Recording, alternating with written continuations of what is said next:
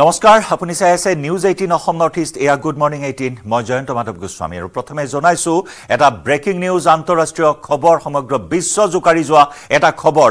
ৰাছিয়াৰ ৰাজধানী মস্কোত I S I এছৰ ভয়ানক আক্ৰমণ। সন্ত্ৰাসবাদীৰ আক্ৰমণত ষাঠিজন লোক নিহত হোৱাৰ বিপৰীতে আহত হৈছে ডেৰ শতাধিক লোক।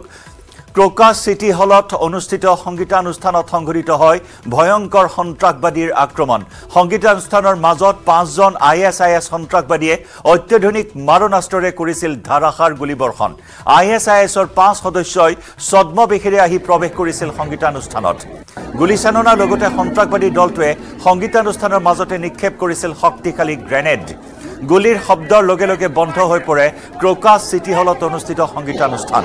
হোৱা দোৱালৈকে উপস্থিত দৰ্শকৰ মাজত গ্ৰেনেড আক্ৰমণৰ ফলত দপ দপকৈ জ্বলি উঠে ক্ৰকাছ চিটি হল। বিশাল কমপ্লেক্সটোত মিউজিক হলৰ লগতে শ্বপিং মলো আছিল।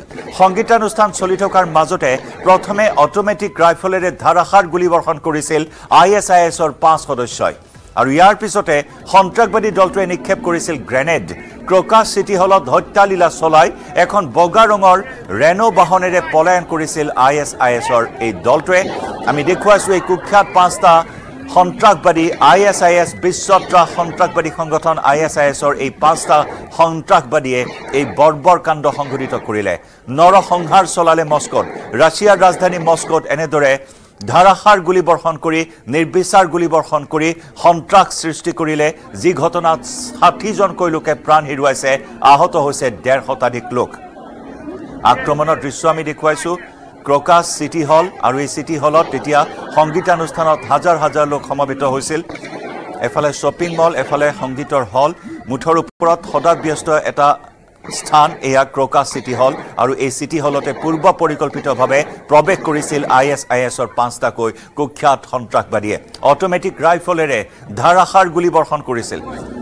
এই ধূলি এই গুলীবৰ্ষণৰ লগে লগে এক আতংকময় পৰিৱেশ হোৱা দোৱা পৰিৱেশ চৌদিশে দৌৰা দৌৰি প্ৰাণৰ মমতাত পলায়নৰ চেষ্টা সকলোৰে আৰু এই ঘটনাত আমি জনাইছোঁ ষাঠিজনকৈ লোকে প্ৰাণ হেৰুৱাইছে ডেৰ শতাধিক লোক আহত হৈছে হতাহতৰ সংখ্যা পুনৰ বৃদ্ধিৰ আশংকা কৰা হৈছে। এটা ভয়ানক আক্ৰমণ সমগ্ৰ বিশ্ব জোকাৰি যোৱা এটা আক্ৰমণ। ৰাছিয়াৰ ৰাষ্ট্ৰপতি নিৰ্বাচনৰ পাছতে আই এছ আই এছৰ টাৰ্গেট হ'ল ৰাছিয়া। ৰাছিয়াৰ ৰাজধানী মস্কোত এই বৰ্বৰচিত আক্ৰমণ সংঘটিত কৰিলে সন্ত্ৰাসবাদী সংগঠনটোৱে।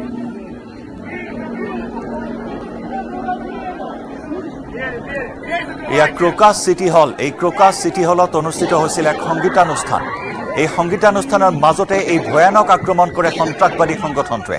আমি জনাইছোঁ এই পাঁচজন সন্ত্ৰাসবাদীয়ে পূৰ্ব পৰিকল্পিতভাৱে প্ৰৱেশ কৰিছিল ক্ৰকাছ চিটি হলত। অত্যাধুনিক মাৰণাস্ত্ৰৰে সুসজ্জিত হৈ আহিছিল।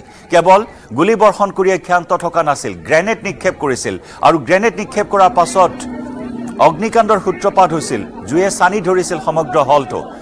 আই এছ আই এছৰ পাঁচ সদস্যই ছদ্মবেশেৰে আহি প্ৰৱেশ কৰিছিল সংগীতানুষ্ঠানত। এতিয়া প্ৰশ্ন হৈছে ৰাছিয়াৰ দৰে এখন দেশত বিশ্বৰ ভিতৰতে সবাতোকৈ শক্তিশালী সামৰিক দেশ এখনত কেনেদৰে আই এছ আই এছে এই হত্যাযজ্ঞ চলাবলৈ সক্ষম হ'ল?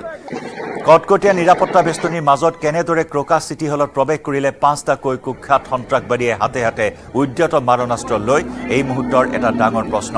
গুলীচালনাৰ লগতে সন্ত্ৰাসবাদী দলটোৱে সংগীতানুষ্ঠানৰ মাজতে গ্ৰেনেড নিক্ষেপ কৰাত ভয়ানক পৰিস্থিতিয়ে বিৰাজ কৰে দপদপাই জ্বলি উঠে। গুলীৰ শব্দৰ লগে লগে বন্ধ হৈ পৰে ক্ৰকাছ চিটি হলত অনুষ্ঠিত সংগীতানুষ্ঠান হোৱা দোৱা লাগে উপস্থিত দৰ্শকৰ মাজত। গ্ৰেনেড আক্ৰমণৰ ফলত দপদপাই জ্বলি উঠে ক্ৰকাছ চিটি হল। বিশাল কমপ্লেক্সটোত মিউজিক হলৰ লগতে শ্বপিং মলো আছে। সংগীতানুষ্ঠান চলি থকাৰ মাজতে প্ৰথমে অট'মেটিক ৰাইফলেৰে ধাৰাসাৰ গুলীবৰ্ষণ কৰিছিল আই এছ আই এছৰ পাঁচ সদস্যই। ইয়াৰ পিছতে সন্ত্ৰাসবাদী দলটোৱে নিক্ষেপ কৰিছিল গ্ৰেনেড। ক্ৰকাছ চিটি হলত হত্যালীলা চলাই এখন বগা ৰঙৰ ৰেনো বাহনেৰে পলায়ন কৰিছিল আই এছ আই এছৰ দলটোৱে।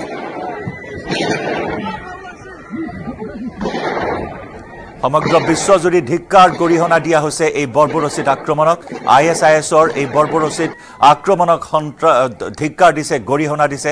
ভাৰতৰ প্ৰধানমন্ত্ৰী নৰেন্দ্ৰ মোদীয়েও ইতিমধ্যে টুইট যোগে এই কাণ্ডৰ তীব্ৰ গৰিহণা দি ৰাছিয়াৰ সৈতে ভাৰত থকাৰ কথা উল্লেখ কৰিছে প্ৰধানমন্ত্ৰী নৰেন্দ্ৰ মোদীয়ে।